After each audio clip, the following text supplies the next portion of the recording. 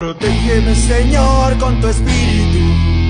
Protégeme, Señor, con tu espíritu.